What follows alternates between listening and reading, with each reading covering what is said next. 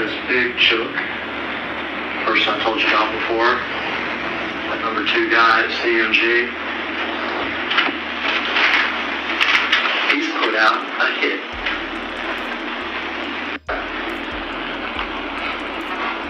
Because Big Jook, person I told you about before, that number two guy at CMG, he's put out a hit. A hit. One hundred thousand dollars to whoever kills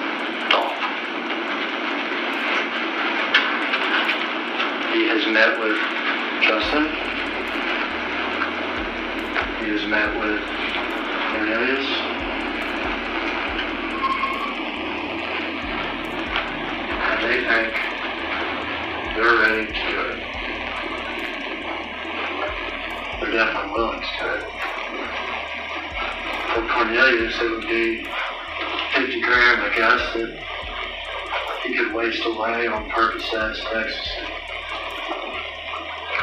For Justin, it's 50 grand, but also a chance to make it big with CMG. To become the next famous Memphis rapper.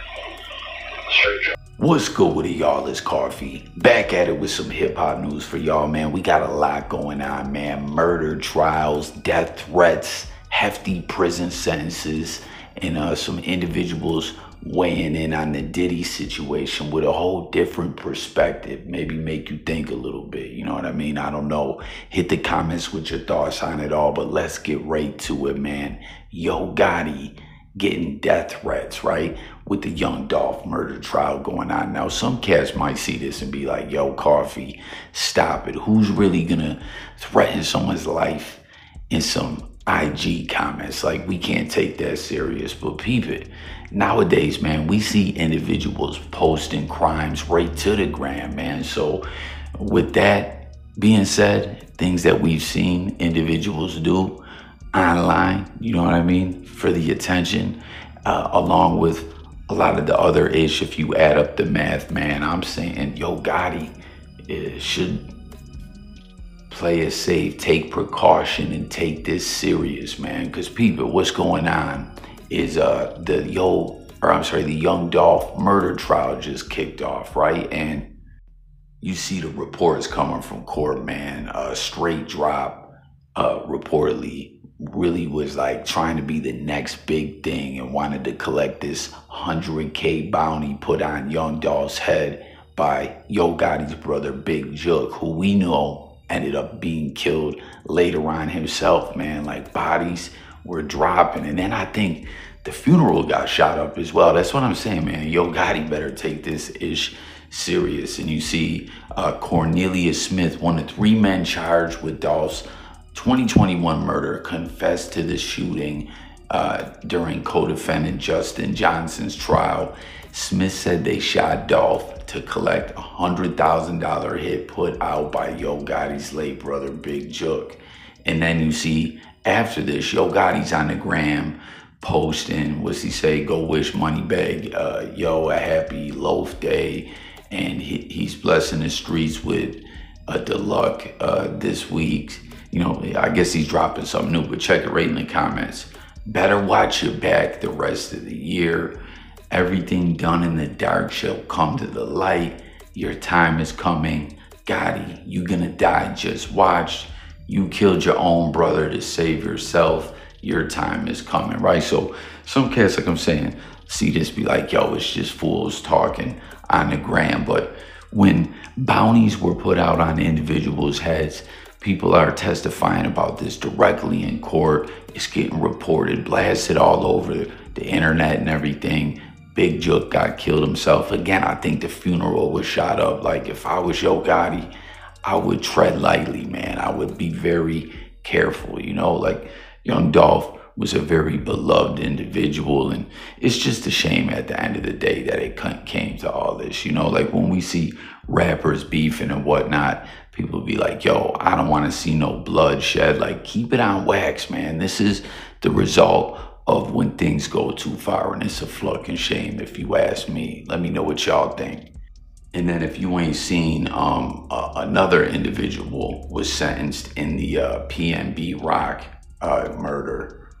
Like that's what I mean. These rappers out here losing their lives, bounties put on cats. Like this is just crazy. But Freddie Lee Trone sentenced to 31 years to life uh, in the PNB Rock shooting. Now he was the father who, you know, they say instructed his son to go in there and, you know, rob PNB Rock, which we know the robbery didn't go down like it was supposed to, and he was killed. And the son is in a juvenile facility, you know, so there's not a lot of court coverage uh, when it comes to the news. You know, things are different because of confidentiality laws with him being a, a juvenile.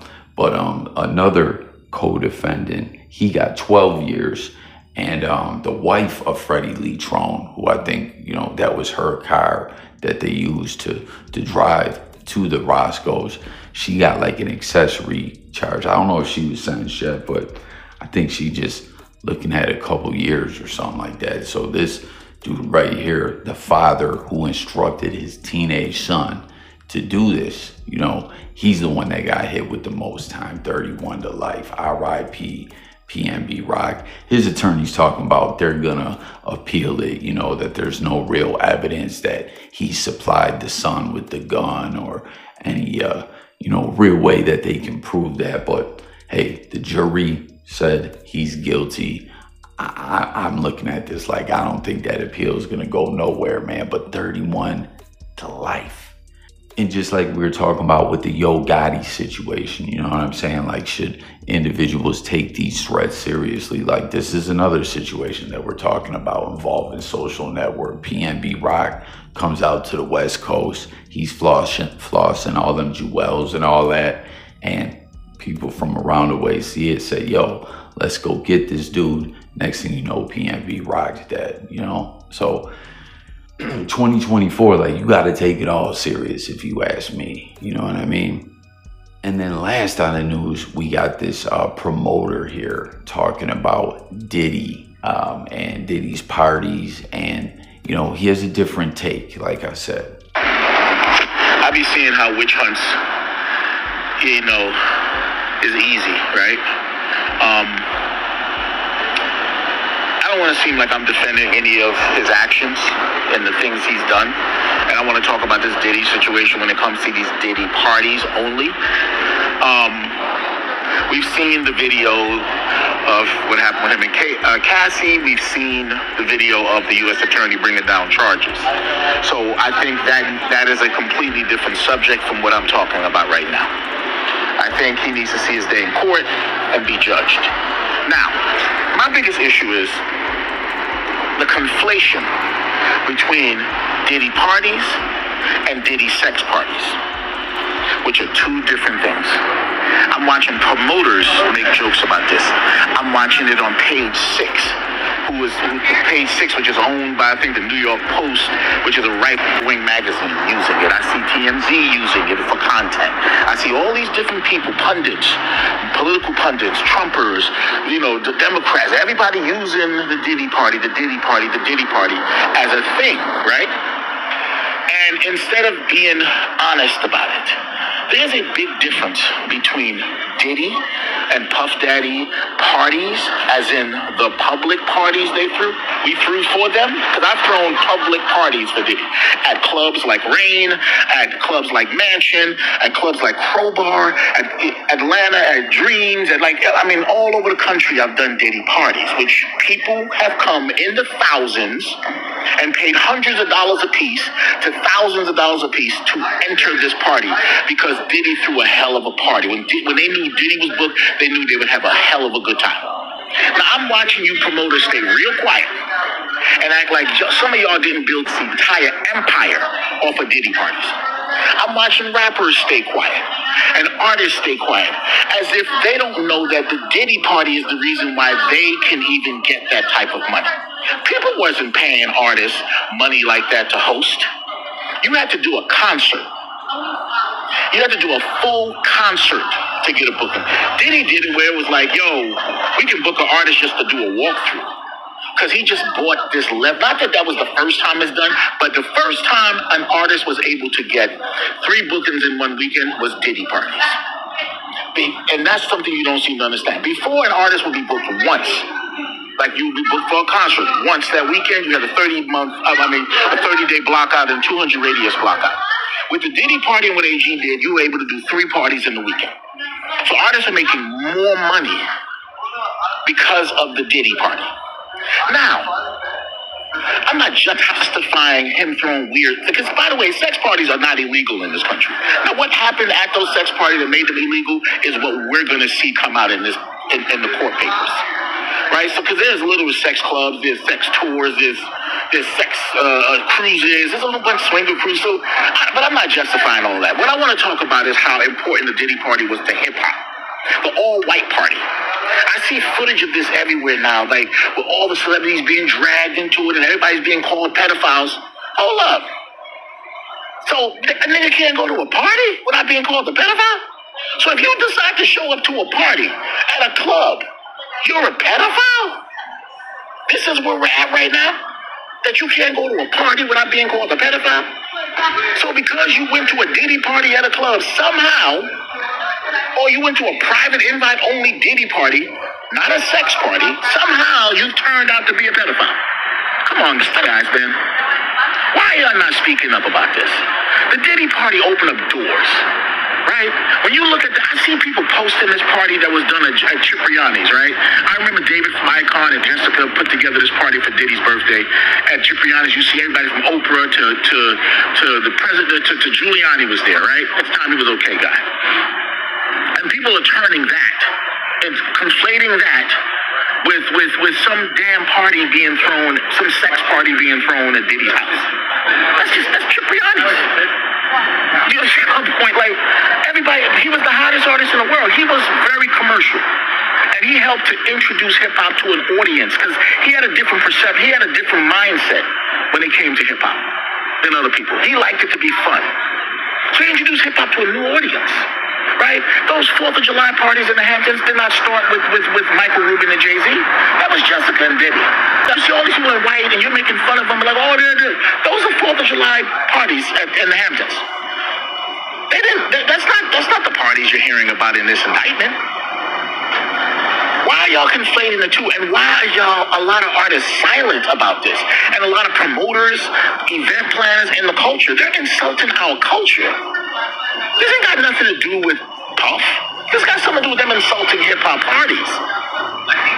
Why is everybody quiet about this? I'm confused. I pride myself on being a really good promoter for the times that I did it. And I threw some of the most epic events ever. And some of those parties were Diddy parties. Now, I've never been invited to the sex parties. I don't know why not, but I've never been invited to those. But goddamn it, what does that have to do with a hip hop party? He didn't revolutionize the hip hop party. He didn't make it more fun. He didn't make it more entertainment. The mic, the way he went back with the drinks and everything changed the face of hip hop. I'm just all these people are white and you're making fun of them like, oh, they're, they're. those are Fourth of July parties at, in the Hamptons. They didn't. That's not. That's not the parties you're hearing about in this indictment. I'm not telling you Dougie Fresh ain't do it. He just didn't do it on a grand scale like Diddy did it. Like this is the reason why you're able to get into the Hamptons. This is the reason why a lot of hip hop parties can be produced in certain buildings. Y'all don't know a time when they didn't even want hip hop in their clubs. Then I see hip hop going all across Hollywood and all through New York City, uh, to, in the city, Atlanta, and Buckhead, all in the bed. That was a time they didn't want hip hop anywhere near those locations at all. Some of us rev- helped to revolutionize that. So all you promoters that were doing the annual white parties and doing all this stuff, y'all are doing a Diddy influenced party. Y'all are doing stuff that he branded. Now, I don't support the illegal things he did. But I don't have a, I'm, I'm not going to conflate the illegal things he did with the legal stuff he did. I'm not going to conflate the two. Right? He may be a horrible person. But what does that have to do with the legal parties, the thousands of legal parties that were thrown by promoters, and how would that help the finance communities? How many club owners right now, and, and black black club owners can say, "I own a club because I started throwing Diddy parties." I know how many. I know. So why y'all? Why is promoters making jokes about Diddy parties as if y'all, you know, like some of y'all are enjoying this a little too much. I'm doing this in defense of hip hop and as a promoter and what we it's an art what we did for decades. And I'm, I'm one of the guys that fought to get us into these buildings. Y'all are used to walking into any building in here in hip-hop. There was a time that didn't exist. Some people had to build that. And Diddy parties was one of those things that disarmed certain people so that we can access that world.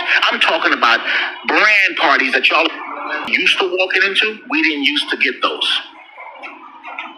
the way you go to the Hamptons every day, or the way you go to the south of France to throw a party, the way you go to Ibiza, we didn't used to get those. Those came from the Diddy parties. So as you see all these super celebrities and world leaders at these white Diddy party, he was changing the face of hip hop. He was bringing hip hop. He was the ambassador through parties for hip hop. Some of y'all are enjoying this a little too much for my own taste, and y'all act like y'all don't have abusers in your family You know what I'm saying? And y'all ain't related to abusers every day. All I'm saying to you is whatever he did, he needs to see both God, a therapist, and the law. But I'm not going to attack the culture of hip hop parties because I, people want to use it for political reasons or to, to, to become haters. And all you guys staying quiet, shame on you, man. Defend the hip hop party. Because before that, they thought we were just violent. All right, so you see this dude, um, again, what's his name? Um, he promoted parties for years, and you see, he had a he had a different take than what a lot of people are saying. You know what I mean? He's like, "Yo, everyone is joking about this, and they're lumping in whatever Diddy was doing with these X parties to just parties that he was doing at clubs that opened the door for hip hop and you know, changed the game and, you know, more or less uh, helped break hip hop through to spots. You heard them where before they didn't want hip hop in the club. They were, you know, and you, you'll still see some venues still act like that, you know, but this dude saying, yo, Diddy changed the game. He made it uh, more glamorous and cool and, you know, got people booked and got them a, a, bigger bag and influence other people to throw these white parties and just different things like that. You know what I'm saying? Like he's saying uh, it's all getting lumped into the same thing. Like any party Diddy had was this like deviant, like actual ish that we're hearing about. He's saying that's not what it is. That's cap. And at the end of the day, like it's ishing on hip hop when people are all joking about this. You know what I'm saying? So comment and let me know what you think about his thoughts about this whole Diddy case. And, you know, we'll, we'll have to see the way it all plays out with court as, you know, more uh, info comes out as the case carries on. But that's going to do it for the news on this one. Hit the comments, share your thoughts, subscribe. I catch y'all on the next one. Peace.